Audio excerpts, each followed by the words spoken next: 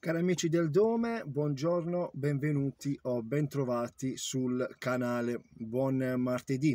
Oggi si ritorna a parlare di fumetti, ovvero dell'ultimo numero di Tex. Eccolo qui. Il titolo è Fratello di sangue. Siamo arrivati al 752, chiaramente parliamo fumetto Bonelli da 4,90 euro. Ecco a voi la copertina la costina e in quarta di copertina. Abbiamo la pubblicità dell'uscita del 22 giugno del Texone, non vedo sinceramente l'ora di acquistarlo, il numero 39 per l'onore del Texas, eccolo qui.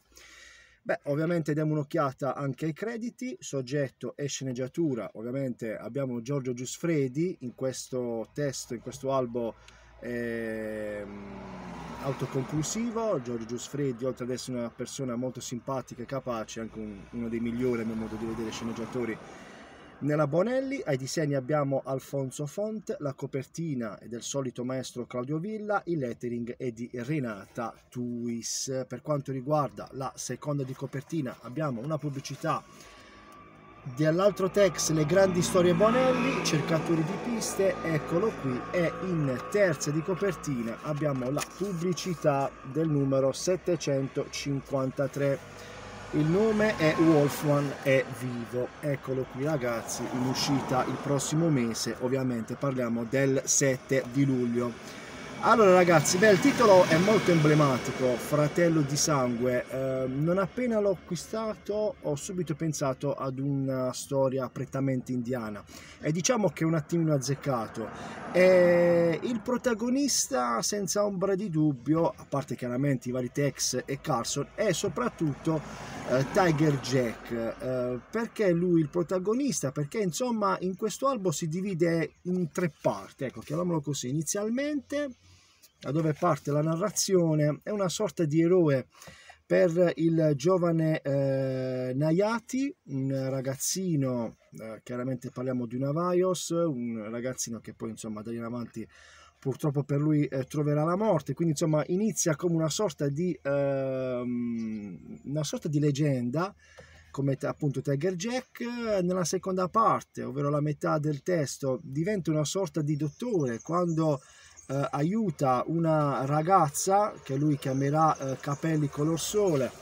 Eccolo qui eccola qui la ragazza che secondo me eh, penso che si sia un po' anche innamorata eh, si sia forse anche un pochettino innamorata e nella parte finale con questa ultima pagina Tiger Jack mostra un po' a tutti quanti i lettori e questa sinceramente mi mancava come lui è diventato fratello di sangue sia di Tex che di Kit Carson. Praticamente avviene nel momento in cui Tex è costretto a eh, affrontare l'uomo più forte della tribù eh, comandata da eh, Cervoforte. Allora Uh, si sa insomma sia Tiger Jack che Kit Carson gli dicono più di una volta guarda che è una trappola lui eh, sa della trappola e dice ok eventualmente mi succedesse qualcosa mio figlio e il resto della carovana eh, sono in buone mani ed è qui insomma che diventano fratelli di sangue. La storia è molto, molto classica classica texana con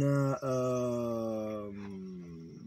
con Tex e compagnia cantante che devono proteggere una carovana di eh, svedesi eh, che vanno verso l'Oregon, una carovana che è stata eh, presa in giro da, eh, quattro, da quattro elementi, due mandriani e due, ehm, chiamiamoli così, cavalieri che eh, li dovevano difendere eh, ad, event- ad eventuali attacchi da parte degli indiani, vengono presi in castagna però eh, ovviamente Tex, eh, Kit e eh, Tiger Jack riescono a ehm, trovare la carovana, trovare la mandria rubata e soprattutto accompagnarli eh, accompagnarli lungo il viaggio, un viaggio molto difficoltoso, soprattutto ricco di, eh, ricco di colpi di scena eh, con gli indiani eh, appunto di eh, Cervoforte che eh, cercheranno in tutti i modi di, di, ucciderli. Beh ragazzi, che dire di questo albo? Ho letto, ho letto e soprattutto sentito pareri discordanti, c'è chi lo ha lodato, chi un po' è rimasto deluso. Io vado un po' nella via di mezzo, non è la lettura del secolo, però a mio modo di vedere non è neanche troppo eh, stancante. Diciamo che ci troviamo di fronte come ho detto ad un classico eh, albo di Tex. Diciamo che qui Giorgio Giusfredi ehm, come dire gioca molto al sicuro ecco. Una storia classica di Tex su Tex va sempre.